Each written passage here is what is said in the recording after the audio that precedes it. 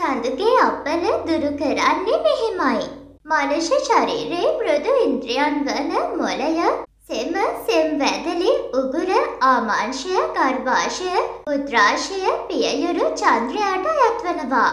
පුරුෂයන්ගේ වම් ඇසටද ස්ත්‍රියගේ දකුණු ඇසටද බලපානවා. චන්ද්‍රයා යහපත් ලෙස සිටිමින් අපස්මාරය බෙල්ල මහත්වීම පක්ෂඝාතය කාසරෝග සඩම්ප පණුරෝග වලිප්පුව සන්නිය රහණි රෝග පාචන රෝග බඩේ කැක්කුම ඇදුම ජල උදර රෝග පෙනහළු රෝග පිස්සුව ඇස් රෝග බඩවැල් වේදනා හටගන්නවා.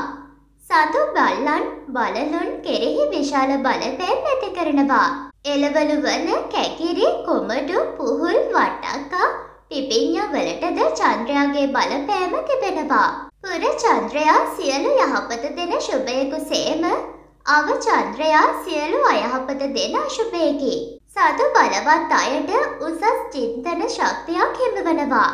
සතු දශාව තුළ මංගල යෝජනා ඇතිවීම, විවාහ කටයුතු සාර්ථක වීම, අධ්‍යාපන ජයග්‍රහණ, විදේශගත වීම, ප්‍රේම සම්ප්‍රදා ඇතිවීම, සිරුරු අපවැටීම් ඇතිවීම, සඳු අසුබ නම් එම දශාව තුළ ප්‍රේම සම්ප්‍රදා බිඳ වැටීම, සෙම් රෝග කල් අල්ලා සිටීම, විවාහ දිවියේ අවුල් වියවුල්, අනිසි සම්බන්ධතා, ජලයෙන් විපත් සිදුවිය හැකියි.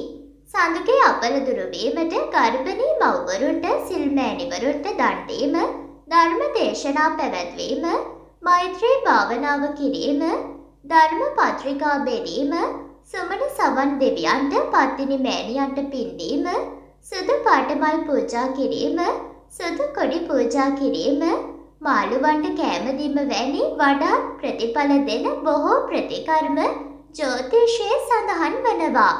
ඔබත් කේන්ද්‍රය පරීක්ෂාවකින් පසු සඳු දශාව ගත කරයි නම් සඳුගේ අපලවලට මේ පිළිවෙත්වල නිරතවීම උණු ජලයට සිසිල් ජලය එක්කරන විට නිවී යන්නක් මෙන් අපල දුරුවීමට හේතුකාරක වනවා.